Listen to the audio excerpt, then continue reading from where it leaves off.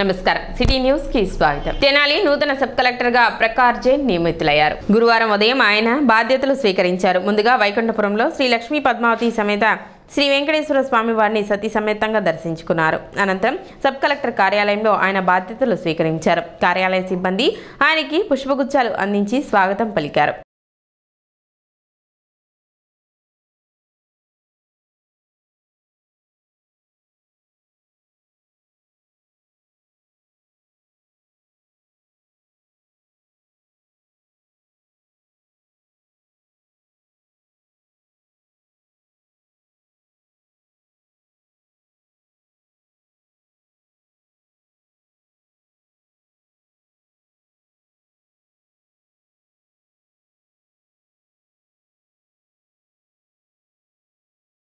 నేను twenty twenty one బ్యాచ్కి చెందిన is అధికారిని. తెనాలి సబ్ సబ్ కలెక్టర్గా చేరదాం ఆనందంగా ఉంది. తెనాలి గొప్ప సంస్కృతితో కూడిన చారిత్రక ప్రదేశం. రానున్న రోజులో అన్ని మండలాలకు వెళ్ళి పరిస్థితిని అర్థం చేసుకుంటా. నా పూర్వీకులు చేస్తున్న మంచి పనిని కొనసాగించాలని ఆశిస్తున్నాను. ఎలక్షన్స్ కూడా ముఖ్యమైన రెస్పాన్సిబిలిటీ ఉంది. ఈ మొత్తం పనిలో మీకు మీ నాకు మీ మద్దతు లభిస్తుందని ఆశిస్తున్నాను. ధన్యవాదాలు. యూపీ నుంచి వస్తాను వచ్చాను. యూపీలో నా ఇంట నా ఇల్లు లలిత్పూర్ జిల్లాలో ఉంది. ఇది నా ఫస్ట్ పోస్టింగ్ ఉంది. ఇప్పుడు ఎప్పుడు ఇప్పుడు ముందు నేను కాకినాడలో నా ట్రైనింగ్ జరిగింది.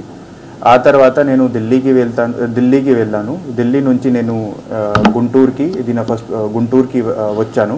ఇది నా first posting as sub collector Tenali municipal chairperson Tadipoyina Radhika గురువారం పట్టణ ఆరో వార్డు నందు పర్యటించారు. వార్డులోని సైడ్ డ్రైన్లను ఆమె పరిశీలించారు. కలవలోని వ్యర్థాలను షీల్డ్ను పురపాలక సంఘ సిబ్బందిచే తొలగింపచేశారు. ఈ సందర్భంగా ఆమె మాట్లాడుతూ వార్డు నందు డ్రైనేజీ వ్యవస్థ అస్తవ్యస్తంగా ఉందని త్వరలోనే ఆ సమస్యను పరిష్కరించడం జరుగుతుందని తెలిపారు. అదేవిధంగా గృహ యజమానులు వారి యొక్క ఇళ్ళ ముందు సైడ్ డ్రైన్లు మూసివేసే విధంగా మెట్ల నిర్మాణం చేపట్టవద్దని ఆమె సూచించారు.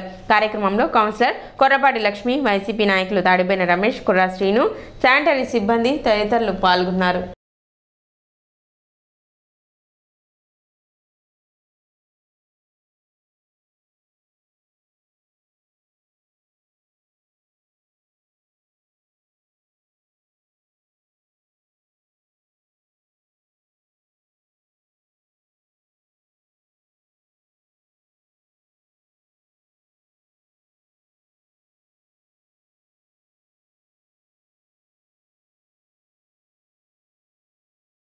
నలభై వార్డులో భాగంగా ఈరోజు ఆరో వార్డుకి వస్తుంది జరిగింది. నారాయణ స్వామి హాస్పిటల్. ఈ పక్కన కాలువ పూడిక అనేది లేకుండా బాగా కదలిక లేకుండా ఎరువులాగా మారిపోయింది ఆ కాలువ. అది తీపిస్తున్నాం. రాబోయే రోజుల్లో ఇంకా ఫౌండేషన్ మీద కానీ ఇలా వార్డులో మన కౌన్సిలర్ గారు చెప్పడం జరిగింది రోడ్డు సమస్య ఉందని. అది వెంటనే దాని మీద స్పందిస్తాం. అలానే రాబోయే రోజుల్లో ప్రజలకు కూడా చెప్పేది ఏంటంటే ఇలా మెట్లకి పక్కనే బండలు వేయటానా ఈ కదలిక అనేది ఉండలేదు మురుగు కాలువ అనేది.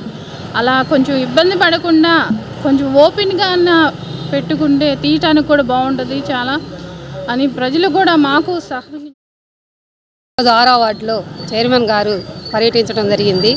ఇక్కడ నారాయణ స్వామి హాస్పిటల్ పక్కన క్లా కాలువ బ్లాక్ అయిపోతే దాని పూడిక తీత తీస్తున్నాం ఒక గంట నుంచి. మా వార్డులో కొన్ని సమస్యలు ఉన్నాయి అవన్నీ చెప్పి వాటి పరిష్కారం పట్టణంలో నెలకొన్న పది రూపాయల నోట్ల కొరతను అధికారులు తక్షణమే పరిష్కరించే విధంగా చర్యలు తీసుకోవాలని ది తెనాలి పట్టణ పరిసర ప్రాంత అభివృద్ధి సంఘం డిమాండ్ చేసింది. ఈ మేరకు సంఘ సభ్యులు గురువారం కొత్తపేటలోని ఎస్బీఐ ప్రధాన కార్యాలయం నందు బ్యాంక్ అధికారులకు వినతి పత్రం అందజేశారు. గత నాలుగు నెలలుగా పట్టణంలో పది రూపాయల నోట్లు లభ్యం కాక ప్రజలు ఇబ్బంది పడుతున్నారని ఈ సమస్యను ప్రభుత్వ అధికారులు మరియు బ్యాంక్ అధికారులు వెంటనే పరిష్కరించే విధంగా చర్యలు తీసుకోవాలని సంఘ సభ్యులు విజ్ఞప్తి చేశారు. కార్యక్రమంలో సంఘ అధ్యక్షులు Darsi Sivakoteswararao Cherukuri Sivaramaiah Vaka Peddireddy Abraham Lincoln Rajesh V Satish Somaiah Sastry తదితరులు పాల్గొన్నారు. జనాల్లో గత నాలుగైదు నెలల నుంచి పది రూపాయల నోట్ల షార్టేజ్ చాలా ఎక్కువ ఉంది. ఉన్న నోట్లు కూడా అన్ని చినిగిపోయి ఉన్నాయి. ఇక్కడ బ్యాంక్కి వెళ్తే కొత్త నోట్లు అనేది ఇవ్వటం లేదు. చిన్న చిన్న వ్యాపారస్తులు ప్రజలు చాలామంది చెప్తున్నారు పది రూపాయల నోట్ల గురించి కొద్దిగా మీరు ఏదైనా చేయండి అని చెప్పి మేము ఎంక్వైరీ చేశాము. నిజంగానే షార్టేజ్ చాలా ఉంది. ఇదే షార్టేజీ మిగతా టౌన్స్లో లేదు. కారణం ఏంటంటే అక్కడ పది రూపాయల కాయిన్స్ తీసుకుంటున్నారు. జనాల్లో మాత్రం పది రూపాయల కాయిన్స్ బ్యాంకులు వాళ్ళు తీసుకోవట్లేదు కాబట్టి ఇక్కడ వ్యాపారస్తులు కూడా తీసుకోవట్లేదు. బ్యాంకుల వాళ్ళని అడిగితే జనాల్లో వాళ్ళు మాత్రమే అవి చాలాసేపు లెక్క వేయాలండి ఎందుకని తీసుకోవట్లేదు అని చెప్పి అన్నారు. కానీ అది తప్పు. జనాలు వరకు పది రూపాయల కాయిన్ ఏమైందంటే చల్లని కాయిన్ లాగా అయిపోయింది అవుట్డేటెడ్ లాగా అయిపోయింది. చాలామంది దగ్గర వంద రెండు వందలు మూడు వందల కాయిన్స్ ఉన్నాయి. ఎవరు తీసుకోవట్లా వాళ్ళు ఏం చేయాలో అర్థం కావట్లేదు. ఈ పరిస్థితి తెనాలి వరకే అతి దారుణంగా ఉంది కాబట్టి మేము అందరు బ్యాంకర్స్ని కలిసి అడుగుతాము. ముఖ్యంగా రిజర్వ్ బ్యాంక్కి మేము పది రూపాయల నోట్ల వలన వ్యాపారస్తులు బాగా చాలా ఇబ్బంది పడుతున్నారు. గత సంవత్సరం నుంచి పది రూపాయల నోట్లు చినిగిపోయినా సరే వ్యాపారస్తుడు తీసుకుంటున్నాడు. కానీ కస్టమర్ తీసుకోవట్లేదు. కేవలం కేవలం దీనివల్ల అంటే టెన్ రూపీస్ కాయిన్స్ చాలామంది లేకపోవటం. మేము బ్యాంకుకు వెళ్ళి ten rupees coin ten rupees నోట్లు తీసుకొని వాటి అతుకులుగా ఉంటే అతుకులు కూడా కట్ చేసి పెట్టేసేసి అయినా కస్టమర్స్కి ఇస్తున్నాం. కానీ కస్టమర్స్ తీసుకోవట్లేదు. కేవలం కాయిన్స్ మన తెనాల్లో వరకే చెల్లుబాటు కావట్లేదు. అందువల్ల బ్యాంకు వారు గుర్తించి ఆ యొక్క ప్రాబ్లమ్ క్లియర్ పది రూపాయల బిల్లలు వాడుకలో ఉంటే చాలా ఉత్తమంగా ఉంటుంది. అందరూ రొటేషన్కి సహకరించవలసిందిగా కోరుతున్నాము. మీకు ఇబ్బంది ఏం లేదు మేము తీసుకుంటాము. మా దగ్గర మీరు తీసుకోవాల్సిందిగా కోరుతున్నాము. వ్యాపారంలో చాలా ఇబ్బందిగా ఉంది. అందరూ పెద్ద నోట్లు తెస్తున్నారు. టెన్ రూపీస్ ఎస్పెషల్లీ దొరకట్లేదు. దొరికితే బాగుంటుందని మా ఉద్దేశం. కాయిన్స్ కూడా యాక్సెప్ట్ చేయట్లేదు. కాయిన్స్ కూడా ఎవరు యాక్సెప్ట్ చేయట్లేదు బ్యాంకులో. ఒకవేళ బ్యాంక్ వాళ్ళు తీసుకుంటే మేమైనా టెన్ రూపీస్ కాయిన్స్ మేము తీసుకోగలం. మేము చెన్నైలో మార్చుకుంటున్నాం ఇక్కడ ఎవరన్నా పొరపాటున ఇస్తే. అది పరిస్థితి. చెన్నై వెళ్ళినప్పుడు చెన్నైలో మార్చుకోవాల్సి వచ్చిన పరిస్థితి వస్తుంది. అది. ఇక్కడ బ్యాంకులో కనుక మార్చుకుంటే అందరూ తీసుకుని మార్చుకుంటారు. పట్టణ ఇరవై మూడో వార్డులో అన్నదాన కార్యక్రమం జరిగింది. షేక్ జిలానీ ఆధ్వర్యంలో మాబూ సుబానీ గ్యార్మీ పండుగ సందర్భంగా జెండా ఎత్తి పేదలకు అన్నదానం నిర్వహించారు. తెలుగుదేశం నాయకులు శాఖమూరి నారాయణ షేక్ నసీం డాక్టర్ శివ షేక్ బాజీ షేక్ సుల్తాన్ తదితరులు పాల్గొన్నారు.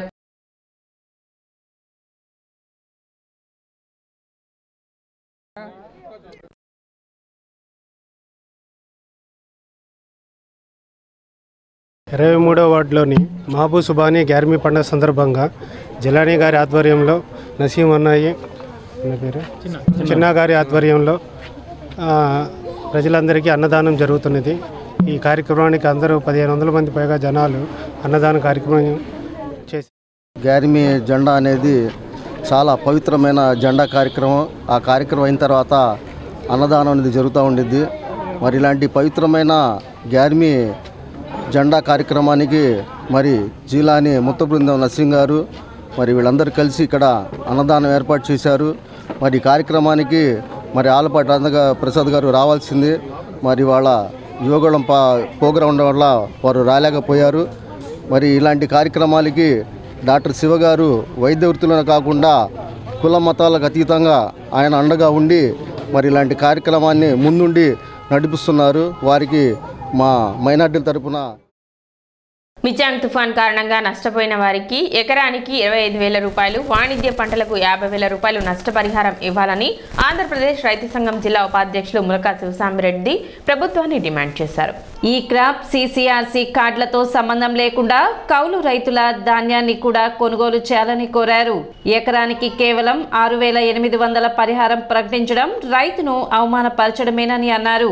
ఈ పరిహారం హార్వెస్టింగ్ ఖర్చులకు కూడా సరిపోదని తెలిపారు. నిబంధన నిబంధనలను సడలించి అన్ని పంటలకు కనీస మద్దతు ధర కల్పించి వాటిని కొనుగోలు చేయాలని సూచించారు. ఈ క్రాప్తో సంబంధం లేకుండా ఎవరైతే భూమిలో వ్యవసాయం చేస్తున్నారో వారి అందరూ కూడా పేర్లు నమోదు చేసి వారికి నష్టపరిహారం ఇచ్చే విధంగా ప్రభుత్వం చర్యలు తీసుకోవాలి. అంతేకాకుండా గత సంవత్సరం రబీ సీజన్లో నష్టపోయిన జొన్న మొక్కజొన్న రైతులకి ఇప్పటికి కూడా నష్టపరిహారం ఇవ్వకపోవటం అనేది సిగ్గుచేటైన విషయం. అట్లాగే ఇవాళ రైతు భరోసా కేంద్రాలు విత్తనం నుంచి విక్రయం వరకు మేమే చూస్తున్నామని చెప్తున్న ప్రభుత్వం మిల్లర్లకి ఇవాళ ప్రభుత్వం రైతుల్ని పంపించేయటం వలన రైతులు దోపిడీకి గురైపోయే పరిస్థితి ఉంది.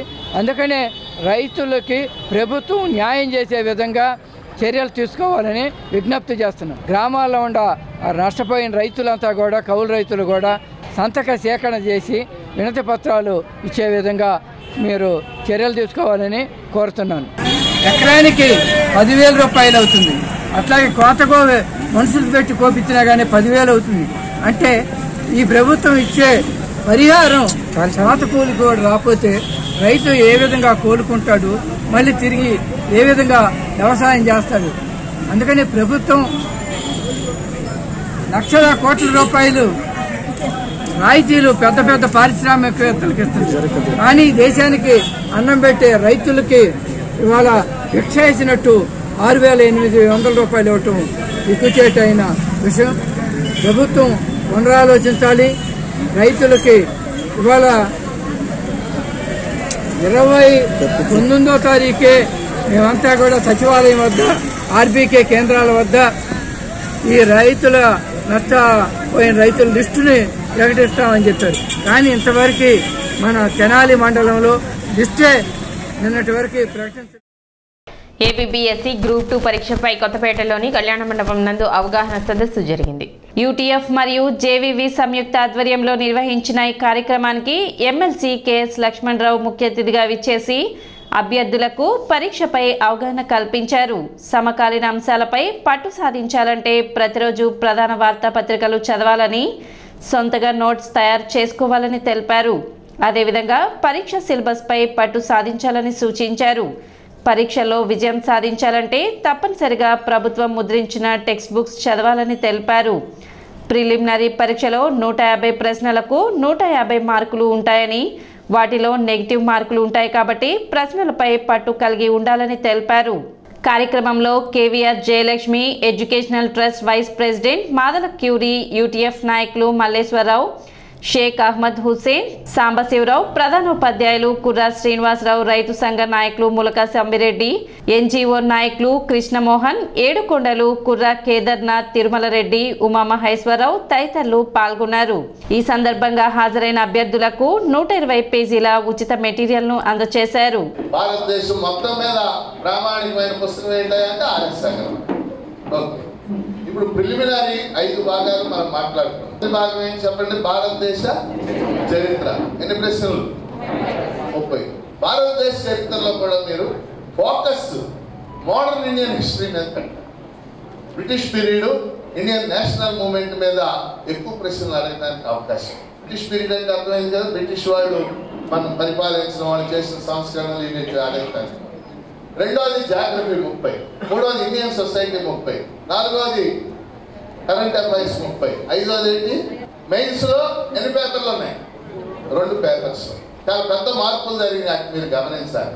పేపర్ వన్లో రెండు భాగాలు ఉన్నాయి. పార్ట్ ఏ ఆంధ్రుల సాంస్కృతిక సామాజిక చరిత్ర. ఏపీ హిస్టరీ ఒక మాటలో చెప్పాలంటే ఏంటి? ఆంధ్రుల చరిత్ర. డెబ్బై ఐదు మార్కులు డెబ్బై ఐదు ప్రశ్నలు. మీరు కొద్దిగా కష్టపడితే డెబ్బై ఐదులో డెబ్బై సంపాదించు. ఫిబ్రవరి ఇరవై ఐదో తారీఖున ఏపీపీఎస్సీ గ్రూప్ టూ ప్రిలిమినరీ పరీక్ష జరగనున్నది. ఈ నేపథ్యంలో మరి ఈ గ్రూప్ టూ పరీక్షా విధానం ఎలా ఉంటుంది? సిలబస్ ఏ విధంగా ఉంటుంది? మరి ఎలా విజయం సాధించాలి అభ్యర్థులు అనేటువంటి అంశాల మీద మన ప్రీతమ ఎమ్మెల్సీ గారు శ్రీ కెఎస్ లక్ష్మణరావు గారి ఆధ్వర్యంలో మరి వారి చేత ఈరోజు ఎన్జిఓ కళ్యాణ మండపంలో ఒక అవగాహన సదస్సుని ఏర్పాటు చేయడం జరిగింది. మరి ఈ ప్రిలిమినరీ పరీక్షలో ఉన్నటువంటి ఐదు సబ్జెక్టులు చరిత్ర భూగోళ శాస్త్రం Indian society current affairs mental ఎబిలిటీకి సంబంధించినటువంటి ప్రశ్నలు ఏ విధంగా వస్తున్నాయి మరి వాటిలో ఉన్నటువంటి మెలకువలు ఏంటి? ఈసారి నెగిటివ్ మార్క్స్ కూడా ఉంది. ఈ నెగిటివ్ మార్కింగ్ ఆ విధానంలో ఏ విధంగా అభ్యర్థులు మరి ప్రశ్నలకు సమాధానాలు సిటీ న్యూస్ ఇంతటితో సమాప్తం. నమస్కారం.